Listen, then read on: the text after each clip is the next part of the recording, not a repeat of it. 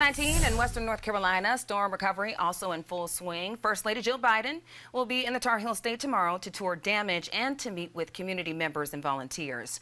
She'll be in Asheville, which is one of the hardest hit areas due to Helene. She'll then make her way to Fayetteville and Raleigh for political events later that day.